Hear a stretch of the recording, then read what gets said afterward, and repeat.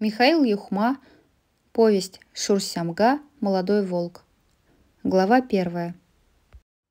Голодный Шурсямга уже четвертые сутки неутомимо рыскал по настороженно притихшему зимнему лесу. Но все старания его были напрасны. Ни единого свежего заячьего следа. Ни зарывшегося на ночь в сугроб и беспечно задремавшего тетерева – ни даже захудалой мышиной норы не повстречалась ему на пути. За эти дни он изрядно отощал, бока валились, поджарых живот, казалось, и вовсе прилип к хребту. Однако мускулистые лапы по-прежнему ступали пружинисто и бесшумно. Глаза не утратили зоркости, а влажный нос чутко улавливал самый слабый ветерок, который в любой момент мог принести желанный запах добычи. Но лес вокруг словно вымер. Снег лежал чистый и нетронутый. Днем он неприятно слепил белизной, сверкал под солнцем, и лишь с наступлением сумерек назойливый этот блеск пропадал. Сменялся мягкой синевой. Сугробы темнели и только на опушках, да широких прогалинах еще долго держалось розоватое свечение.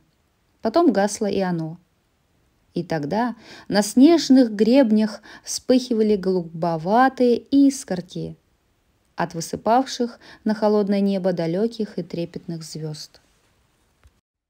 Правда, вчера, вскоре после захода солнца, Шурщамга удалось приметить белку, которая суетливо вертелась на самом краю отлогой ветки огромного разлапистого дуба – Сперва Шурщамга замер на месте, напряженно втягивая ноздрями дразнящий запах и надеясь, что глупая белка, позабыв об осторожности, спустится на землю.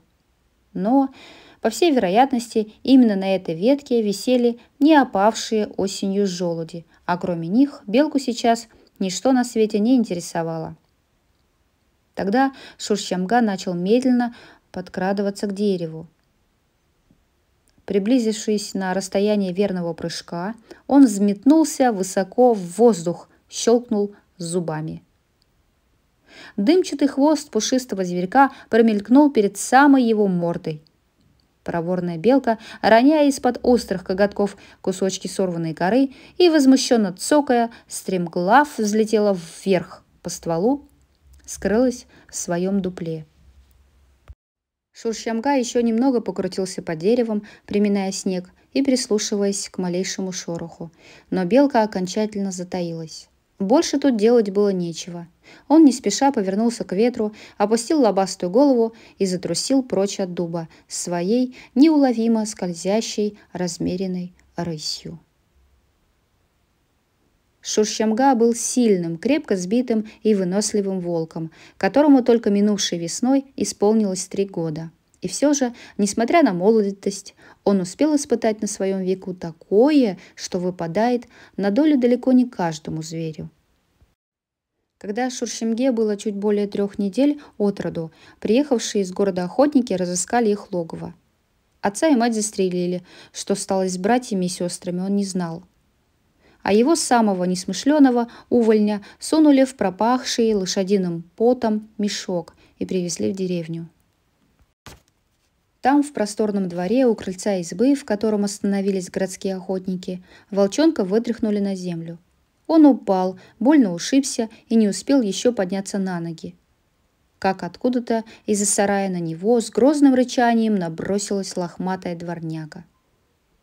Плохо пришлось бы, конечно, волчонку – Вполне возможно, что и рассказывать о нем дальше было бы уже нечего.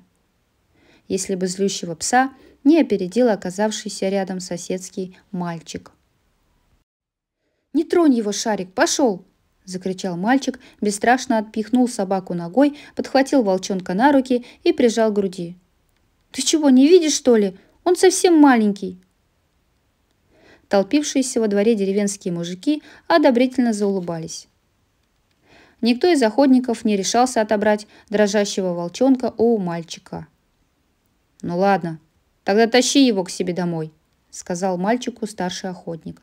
«Все равно тут ему, видать, никакого житья не будет». Более полугода прожил Шурщамга на подворье у мальчика, и это было счастливое время. Мальчик ухаживал за волчонком, кормил его из соски теплым молоком, а вечером укладывал в свою постель и накрывал одеялом. Отца у мальчика не было, и, наверное, поэтому его мать прощала сыну всякие шалости. С утра до ночи он играл в избе или на улице, и если лесному найденушу грозила беда, мальчик всегда спешил к нему на выручку. Женщина тоже привязалась к волчонку. Она нередко брала Шуршемгу к себе на колени, почесывала у него за ушами, гладила густую шерсть на спине. Тот покорно принимал ласку хозяйки. Ему даже нравились легкие эти поглаживания.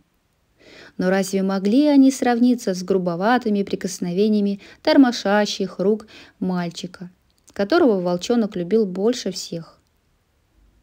К сожалению, эта ничем не омраченная и счастливая пора в жизни волчонка неожиданно кончилась.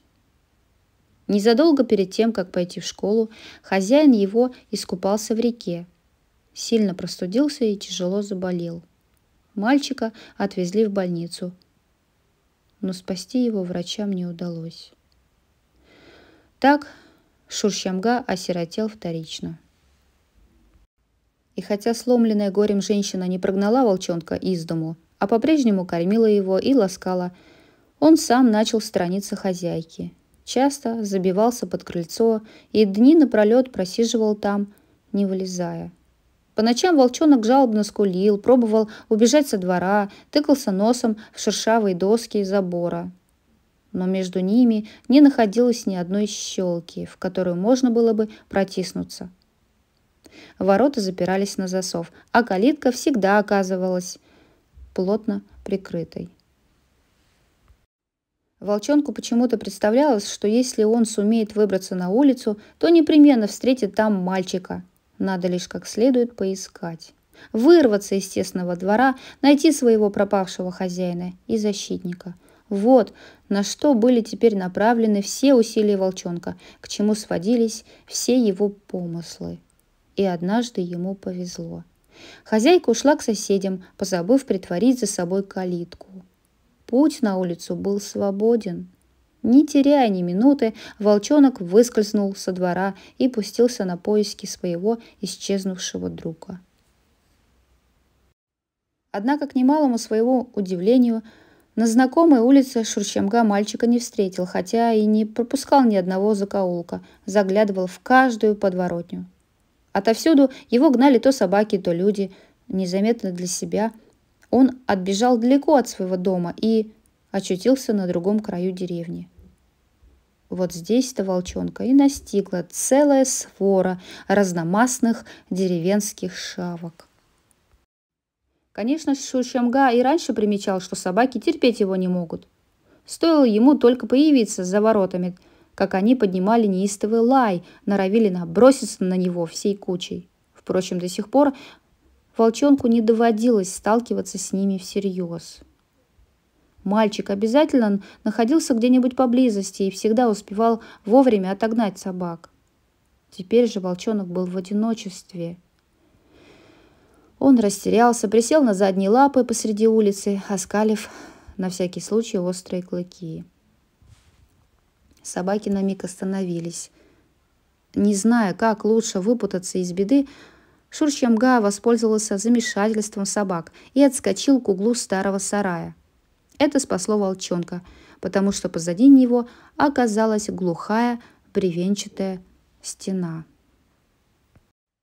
В Шуршамге пока еще не пробудилось сознание жестокой борьбы не на жизнь, а на смерть. Волчонок просто старался отвязаться от докучливых псов, чтобы спокойно продолжить свои поиски. Но инстинкт подсказывал ему беречь горло, и он молча отбивался от разъяренных дворняк. Вертелся у стены, подставляя собачьим зубам то грудь, то плечо, то покрытые густой шерстью бока.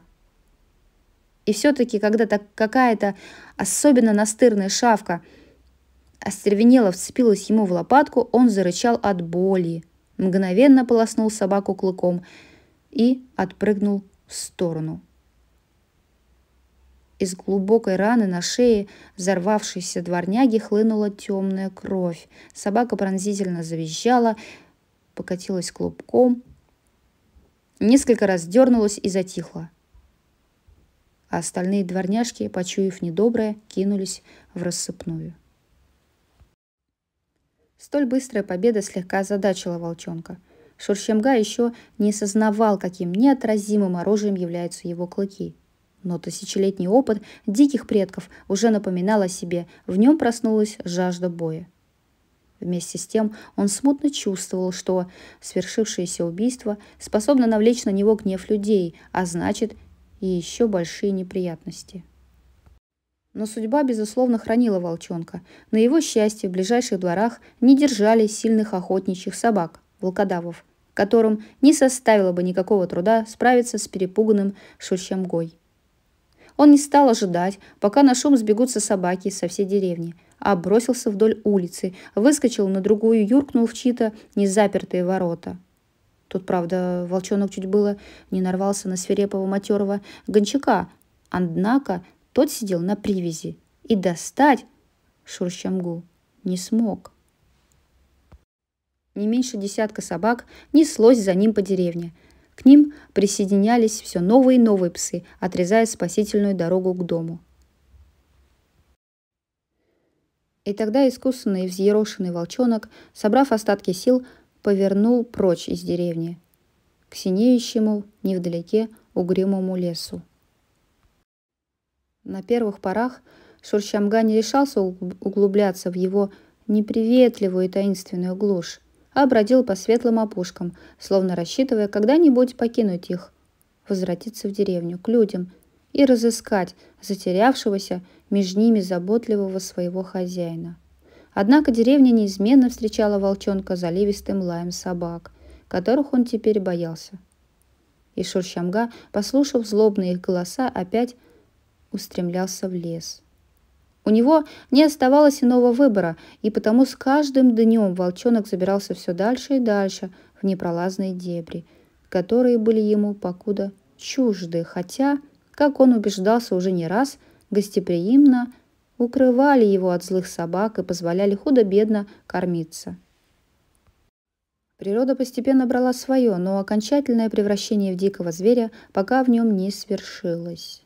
Впрочем, он подступил к этой незримой грани вплотную уже спустя несколько дней после того, как, спасаясь от несущейся за ним по пятам собачьей своры, был вынужден повернуть от людского жилья к лесу. За деревней на берегу широкого пруда стояли длинные постройки птицефермы. Волчонок постоянно наведывался к ней, потому что неподалеку отсюда в кустах ему однажды удалось найти пару утиных яиц и черствую корку хлеба. Скудная эта пища лишь раздразнила в нем голод. Шурщамге нужно было мясо, а по берегам пруда и вокруг фермы в перевалку ходили ленивые утки. Но волчонок не подозревал о том, что именно они-то и есть мясо. Как обычно под вечер Шурщамга сидел за кустами, когда отбившаяся от стаи утка спокойно прошествовала в каких-то двух шагах от него. Волчонка одолело любопытство, и он покинул укрытие. Утка со страху ткнулась клювом в землю, а потом со всех ног кинулась на утек, заполошно крякая и хлопая крыльями. При виде удирающей птицы в Шуршамге возник азарт погони – сам еще толком не сознавая, зачем он это делает, волчонок догнал утку, прижал ее лапой и схватил за горло.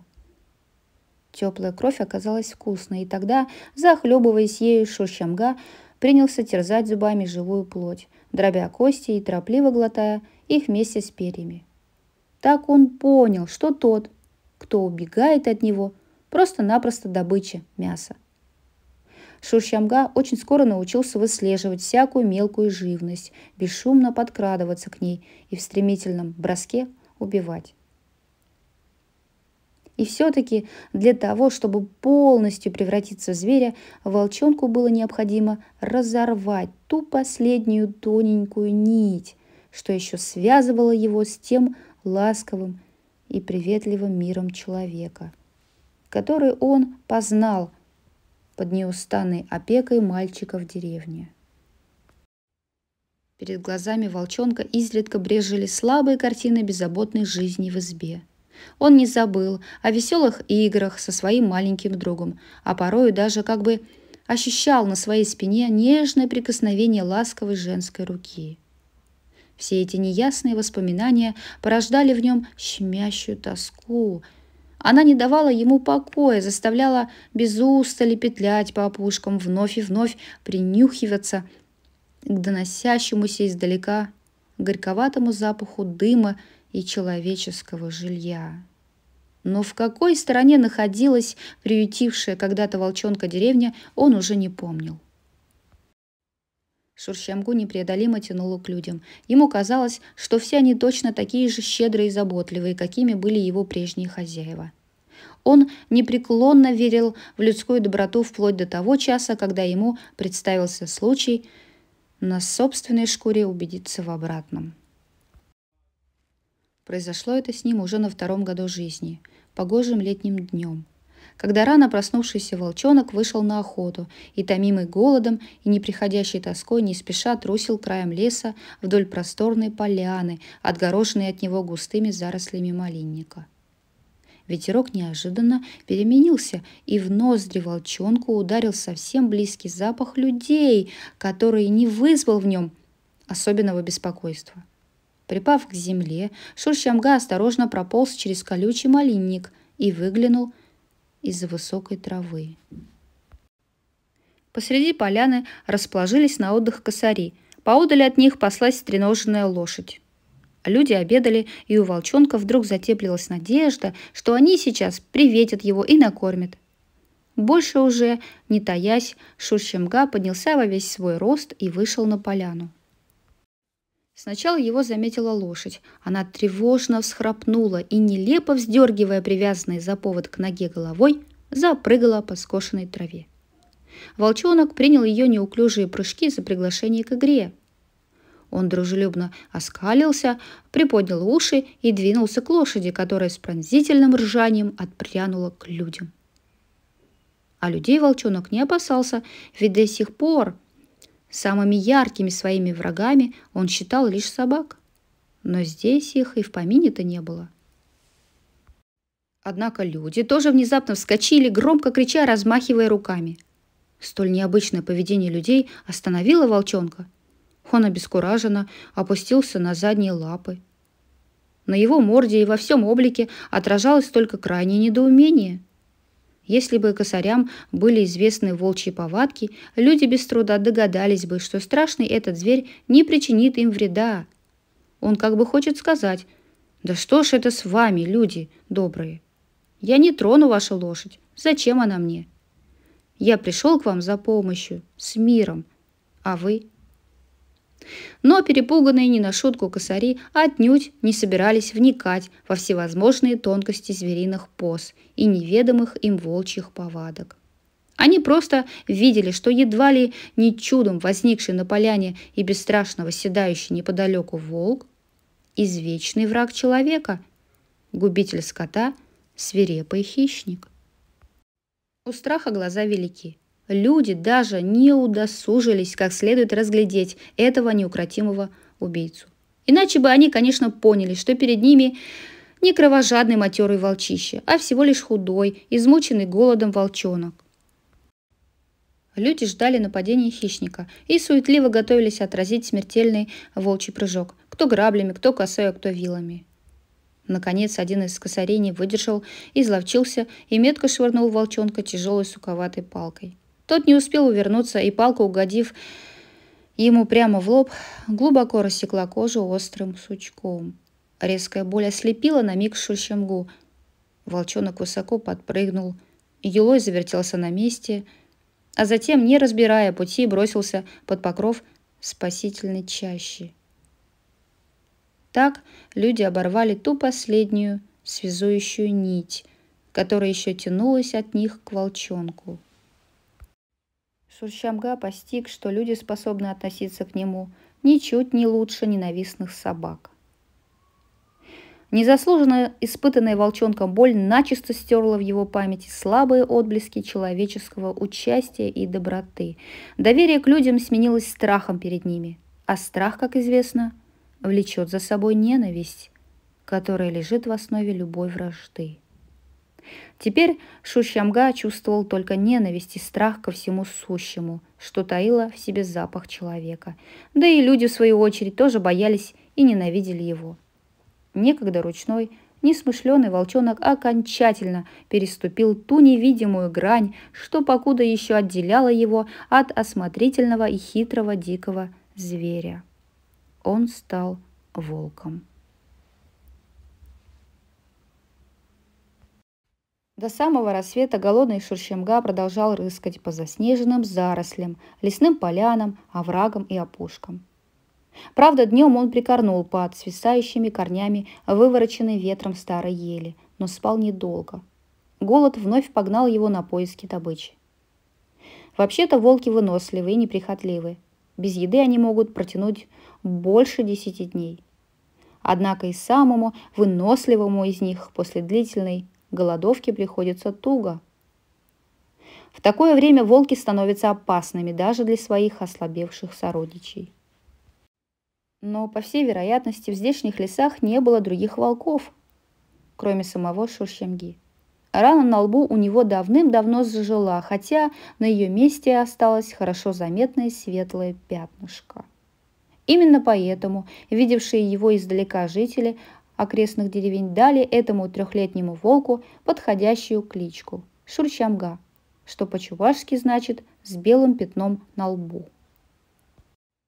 Шурчамга решил еще раз самым тщательным образом обследовать свои охотничьи угодья. А вдруг на его счастье все-таки попадется какой-нибудь приблудившийся зайчишка – Небо между тем заволокло тяжелыми низкими тучами. Они неспешно проплывали над оголенными верхушками деревьев. И поэтому казалось, что замерзший в дреме безжизненный лес еще больше потемнел, насупился и притаился. Над головой Шуршемги топорщились сизоватые ветви облетевших осин.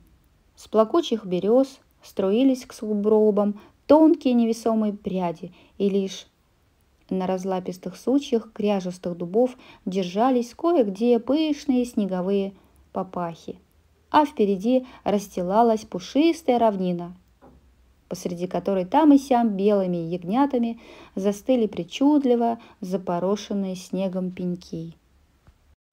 Волк выбрался на опушку, остановился, принюхиваясь к повлажневшему воздуху и вглядываясь в чернеющие кроны ели и сосен, что мохнатыми великанами вздымались поодаль от сквозных белоствольных берез и зеленоватых осин. Нет, по глухим соснякам да ельникам нынче и вовсе лучше не ходить. Снега под ними почти нет. Темнеет голая земля, усыпанная рыжими хвоинками – а зайцы давно в белые шубы оделись. Теперь они прячутся в мелколесье. Лежат под заснеженными кустами да кочками.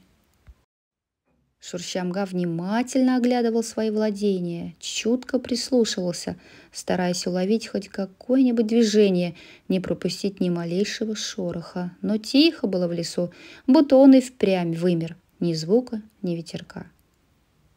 Так чего доброго недолго подумать, что лишь один ты живой во всем лесу остался. Волк подступил к поваленному стволу, поднял заднюю ногу и на всякий случай оставил свою отметину. Мало ли кто еще сюда забредет, пускай знает, что в этом лесу уже есть хозяин. Пока, однако, на затвердевшем Насте не видно чужих следов и подозрительных запахов вроде не чувствуется. Только его собственные перебежки от одного куста к другому ведут. А след у Шуршемги приметный. Было с ним когда-то. Попал он по глупости правой передней лапой в лисий капкан. Ногу-то, конечно, выдернул. Но с той поры на ней когти будто подстрижены. И от этого вмятина на снегу получается вроде бы чуточку круглее и поменьше, чем от остальных лап. Шуршемге, впрочем, нисколько это не мешает. В беге он стремителен и неутомим. Легкое дуновение коснулось ноздрей волка. Он почувствовал запах белки. Ну, так оно и есть. Ведь это же та пушистая тварь, которая поселилась в дупле старого дуба. Не останавливаясь, Шурщамга повернулся и осторожно затрусил по своему старому следу. Но под деревом белки не оказалось. Не видать ее было и наверху. Волк медленно отступил от дуба, принюхался, и какое-то смутное беспокойство внезапно зародилось в его сердце. Вокруг как будто бы ничего не изменилось, ничто не предвещало беды. По-прежнему недвижим воздух, молчалив лес. Но волк уже твердо знал, что где-то рядом таится смерть. И грозить этой смертью Шурщамье может только человек. Ведь его трехлетний жизненный опыт подсказывал волку, что медлить дольше нельзя, надо бежать без оглядки спасаться. Подобно серой молнии метнулся Шурщамга за толстый ствол корявой сосны, и в ту же секунду прогремел выстрел. Картечь шваркнула по древесной коре. Левое ухо волка обожгло острой болью, однако он уже перемахнул через неглубокий овраг – и, пластаясь в беге, летел сквозь лесные дебри, как выпущенная из лука стрела. Второй выстрел запоздало прозвучал далеко позади.